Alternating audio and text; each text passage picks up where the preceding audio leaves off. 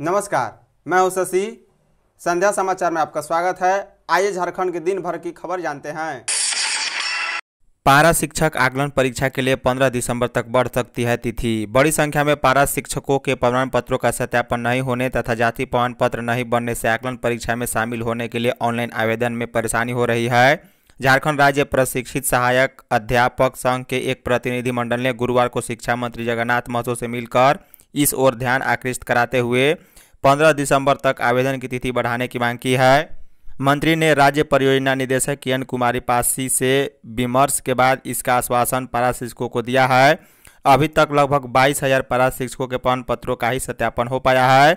बता दें, मंत्री जगन्नाथ महतो ने आकलन परीक्षा का मॉडल प्रश्न पत्र एवं सिलेबस शीघ्र जारी करने, परीक्षा के अंक, समय एवं शुल्क पर फिर से विचार करने का आश्वासन दिया। बताया कि पारा शिक्षकों की वार्षिक वृद्धि जनवरी 2023 से लागू की जाएगी।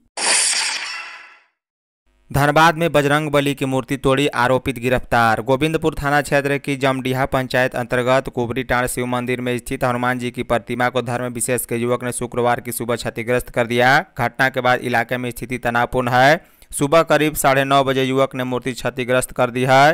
इधर घटना से आक्रोशित ग्रामीणों ने आरोपित को पकड़कर बंधक बना लिया और जय श्री राम के नारे लगाने लगे। मामले की सूचना मिलने पर ग्रामीण एसपी रिश्मा रमेशन, डीएसपी अमर कुमार पांडे, गोविंदपुर के थाना प्रभारी inspector Umesh Prasad Singh, BDO Santesh Kumar, CO Ramji Verma और दल बल के साथ घटनास्थल पर पहुँची और काफ़ी जद्दोजहद के बाद स्थिति को काबू में किया। ग्रामीणों ने नावाटाड़ के रहने वाले आरोपित इम्तियाज़ अंसारी, पिता मुस्लिम अंसारी को बंधक पुलिस के हवाले कर दिया। झारखंड के बाल सुधार गृह में केयर टेकर पर हमला। झारखंड के एक बाल गृह में केयर टेकर पर हमला कर उसे गंभीर रूप से घायल कर दिया गया है। मामला कोडरमा जिला के तिलैया थाना क्षेत्र का है। थाना क्षेत्र के न्यू कॉलोनी वार्ड संख्या 16 में बाल गृह कोडरमा का संचालन किया जाता है।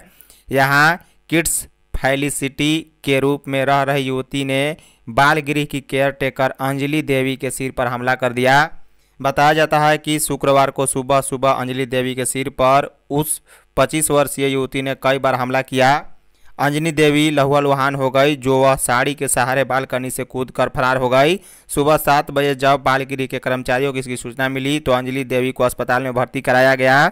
कोडरमा सदर अस्पताल में डॉक्टर उनका इलाज कर रहे हैं।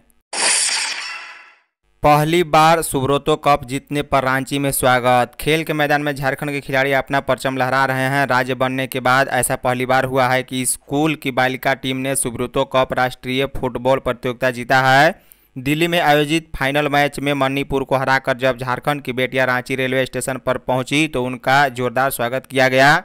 खिलाड़ियों के चेहरे पर आत्मविश्वास और भविष्य में और बड़ा करने की चमक दिखी। बता दें, झारखंड की टीम ने best school junior girl under सत्रह, विनर जूनियर गर्ल अंडर सत्रह और वेस्ट गोलकीपर के लिए मिले चेक के साथ अपनी तस्वीरें खिंचवाई। दरअसल, पिछले दिनों दिल्ली में सुब्रतो कप राष्ट्रीय फुटबॉल प्रतियोगिता हुई थी। इसमें गुमला के संत पैट्रिक हाई स्कूल की बालिका टीम फाइनल में पहुँची थी। मकान किराए पर लेने के नाम पर खाते से उड़ा लिए चार लाख रुपए। अपराध अनुसंधान विभाग की साइबर अपराध थाने के पुलिस ने मकान किराए पर लेने के लिए ऑनलाइन रुपए ट्रांसफ़र करने के नाम पर खाते से तीन लाख पंचानवे हज़ार नौ सौ नब्बे रुपये की साइबर ठगी के मामले में नई दिल्ली के दो साइबर अपराधियों को गिरफ़्तार किया है।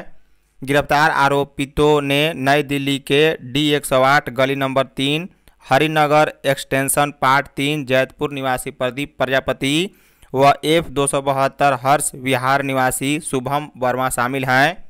इनके पास से साइबर थाने की पुलिस ने दो मोबाइल, तीन सिम कार्ड, तीन चेकबुक, दूसरे के नाम से जारी दो आधार कार्ड, एक एटीएम कार्ड सहित तीन लैपटॉप व पाँच पेन ड्राइव जब्त किया है।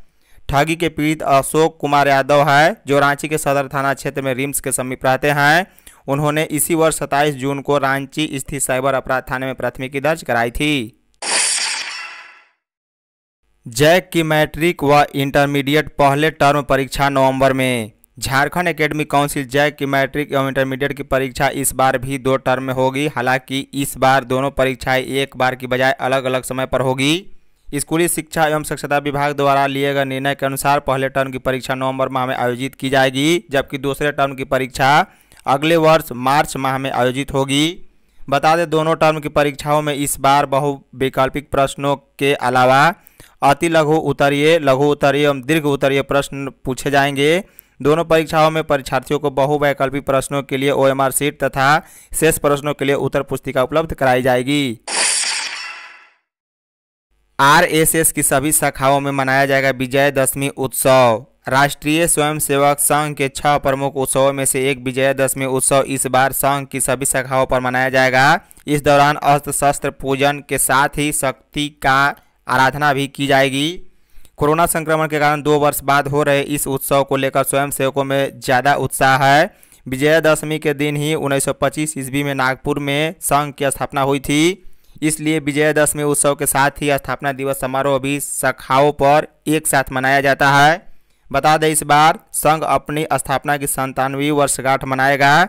इसका मुख्य कार्यक्रम संघ मुख्यालय नागपुर में होता है, जहाँ सर संघ चालक अस्त्र शस्त्र पूजन के साथ ही स्वयं सेवकों को संबोधित करते हैं। नीतीश कुमार का अगला टारगेट झारखंड। बिहार में राजद और कांग्रेस के साथ गठबंधन कर जदयू की सरकार चला रही है। इस नए समीकरण को जदयू झारखंड में भी आगे बढ़ाने में लगा है। जदयू के वरिष्ठ नेता भी इस मुहिम में लगाए गए हैं। इस काम में जदयू के पूर्व प्रदेश अध्यक्ष जलेश्वर महतो भी कारगर साबित हो सकते हैं। बता दें, उन्होंने जदयू से रिश्ता तोड़ लिया है, लेकिन अभी भी उनके संपर्क में वरीय नेता हैं। यही पुराने साथी एक बार फिर से जदयू को सशक्त करना चाहते हैं। जलेश्वर महतो प्रदेश कांग्रेस के कार्यकारी अध्यक्ष हैं। जदयू के राज्यसभा सदस्य खीरू महतो से उनके बेहतर रिश्ते हैं। जदयू को उम्मीद है कि सत्ताधारी गठबंधन में शामिल होने से प्रदेश में उनका जनाधार बढ़ेगा। महिलाओं को पशुधन विकास योजना में 90 प्रतिशत अनुदान। मुख्यमंत्री हेमंत सोरेन के आदेश के बाद ग्रामीण गरीब आबादी को मुख्यमंत्री पशुधन विकास योजना का लाभ पहुँचाया जा रहा है। गव्य विकास निदेशालय द्वारा संचालित उपयोजना के तहत लाभुकों को मिलने वाले अनुदान में संशोधन कर पशुधन को बढ़ावा दिया जा रहा है। बता दें, अब आपदा, आगलगी, सड़क दुर्घटना से प्रभावित परिवार की महिला परित्यक्त और दिव्यांग महिलाओं को 90 प्रतिशत अनुदान पर दो दुधारू गाय या भैंस दिया जाएगा। इससे पूर्व तक 50 प्रतिशत अनुदान पर दो दुधारू गाय या भैंस दिया जा रहा था।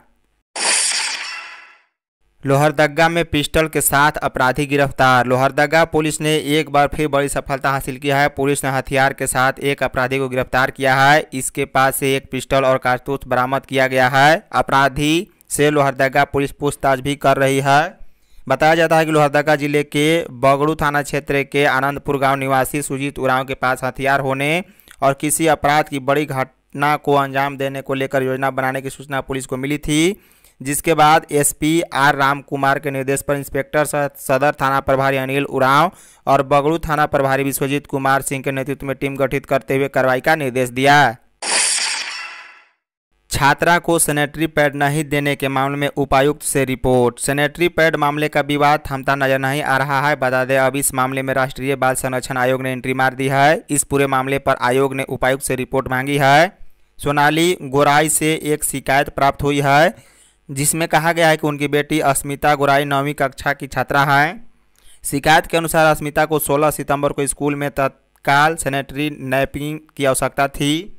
लेकिन कथित तौर पर शिक्षक इप्सिता साहू ने बच्चे को सैनिटरी नैपकिन प्रदान करने से इनकार कर दिया, जब तक कि बच्चे द्वारा शुल्क का भुगतान नहीं किया जाता।